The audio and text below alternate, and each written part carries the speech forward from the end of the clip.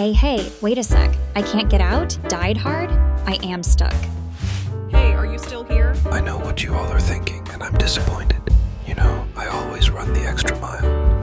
This isn't funny, hurry up. It's not about the prize at the end of the line, but the higher end, the thing that lies beyond waiting for the brave.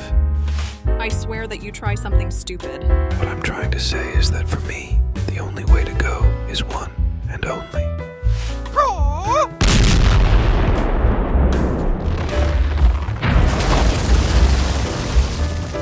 One year, I am deserved.